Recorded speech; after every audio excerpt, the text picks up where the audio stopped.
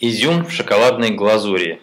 Raisins covered with uh, chocolate, chocolate icing or frosting. It looks, uh, they they actually look like uh, M&Ms, and uh, in section you can see some some raisin fruit inside. Uh, yeah. Then again, we have experienced a big influence of our neighboring nations, uh, namely from Asia. So this is product called halva. They come um, in a number of varieties made of uh, peanuts uh, and uh, uh, sunflower, sunflower seeds. So this one is covered with chocolate and this is how it looks uh, inside. So halva is inside and outside it's chocolate. Yeah this um, smells uh, with a peanut or of peanut. Um, another one dried plum or prune in chocolate also quite delicious. Could could come uh, uh covered with white chocolate variety. Here it's cross section. Ooh, softy. And another one called Kazinak. Basically sunflower seeds which are glued together with some kind of uh, honey or something. As I learned today in Wikipedia, it is of Georgian origin. Uh, by the way, in the end of the video or in comments to that uh, to that video, I will post some uh, links to Wikipedia, which will where you could uh, read more about the stuff I have just shown you. Okay, moving on to candies and uh, chocolates. Uh, these will be quite quite iconic and famous pro products of Russia uh, Mishka Little Bear Cub, uh, and it is a chocolate candy. Inside it has layers, probably praline, very tasty, and uh, everybody knows it. Then uh, comes um, karovka, a little cow or cow in affectionate way. Uh, these ones look like such bars and inside they have a toffee-like feeling.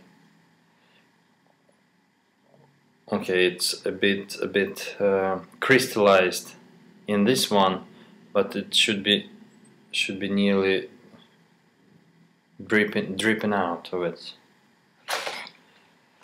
Uh, next sort of candies are toffees. This one is called Золотой ключик, golden little key, little golden key, and it's it is featured in Russian rendition of the Pinocchio fairy tale called in Russian Buratino, and this one is called kiss kiss, which doesn't mean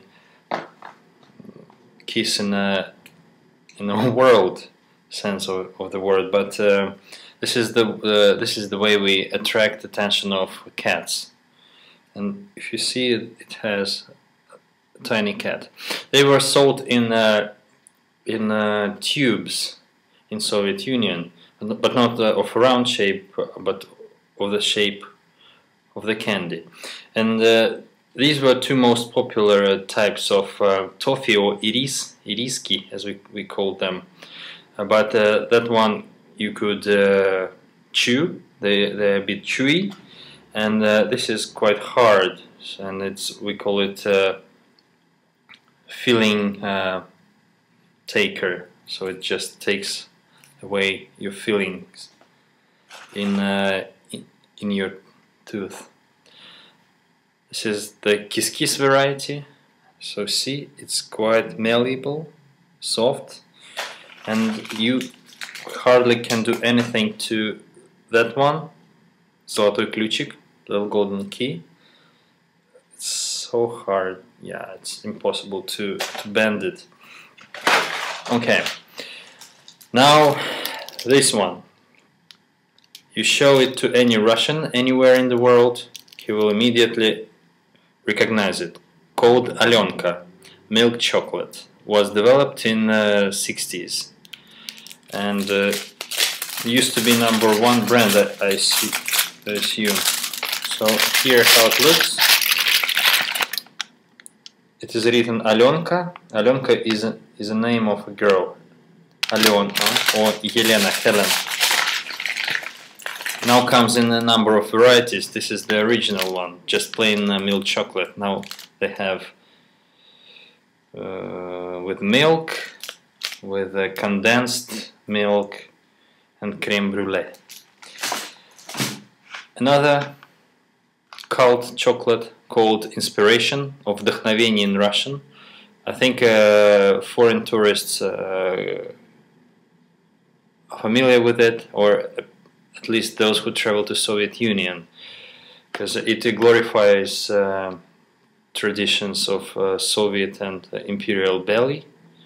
See the Bolshoi, its profile, and uh, what is peculiar about it, it came in the shape of of little bars, and it has nuts, crushed uh, hazelnuts inside.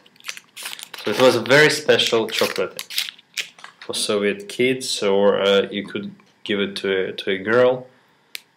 See, these are crushed nuts, hazelnuts inside.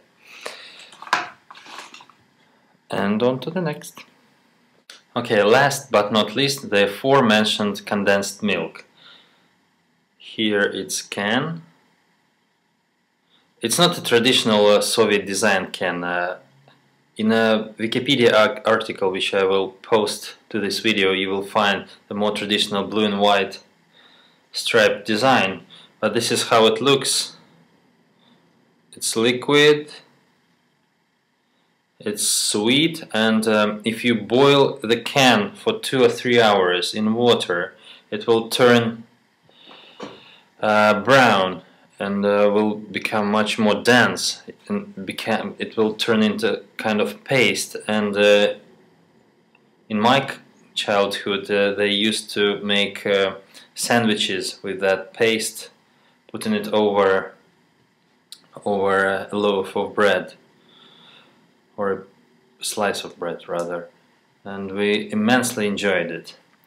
Well these were uh, by no means uh, a complete that wasn't a complete uh, list of uh, candies, sweets and confectioneries we used to have in Soviet Union their advance of um, Western sweets, but uh, but uh, I tried to find uh, everything I could in our local supermarkets, and I still missed a couple of items. Um, couple of them are my favorites, but still you can get the picture. I think uh, guys from uh, other uh, ex-Eastern Bloc countries could recognize some of that stuff. Uh, and um, I hope you enjoyed the video.